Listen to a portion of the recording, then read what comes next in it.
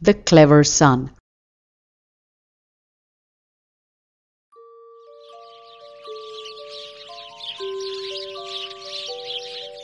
One morning in a faraway village, Ravi helped his father onto a bullock cart. Just at that moment, his son Vivek ran towards them.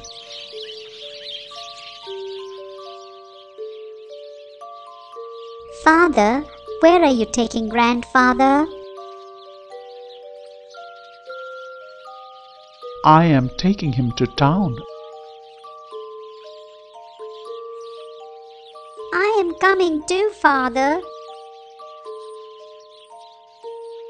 Ravi, however, told the boy to stay at home. He called his wife to take Vivek away.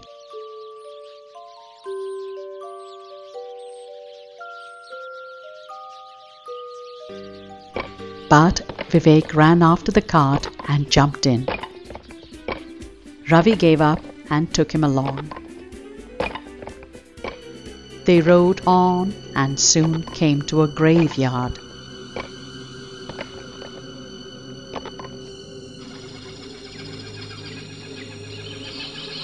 Vivek, stay there with grandfather. I will be back soon.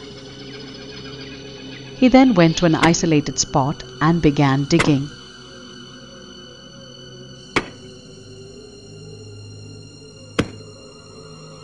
After a while, Vivek became restless and decided to go after his father.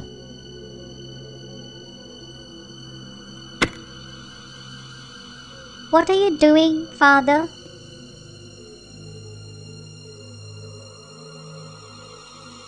I am digging.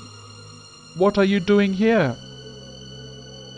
I told you to stay with grandfather.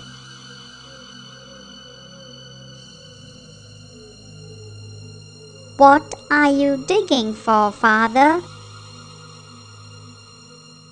Ravi saw that he had no choice but to tell Vivek the truth. Son, it's a grave for your grandfather. But grandfather is not dead. said Vivek. Yes, but he's old and useless now. He won't live long. So there is no harm in burying him now.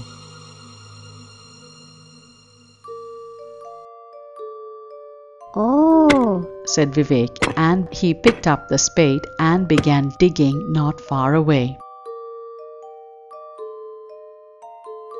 What are you doing?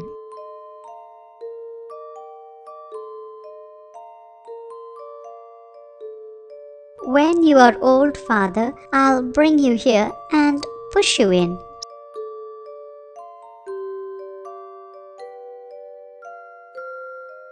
What? You would do that to your own father?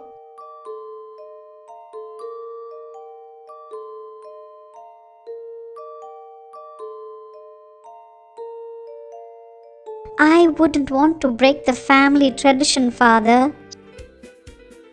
Ravi realized his folly. He hugged Vivek and said, Son, you have stopped me from committing a horrible crime. Ravi then took his father home and took good care of him for as long as he lived. He then told his wife of all that had happened and said, You know, sometimes children are wiser than us grown ups.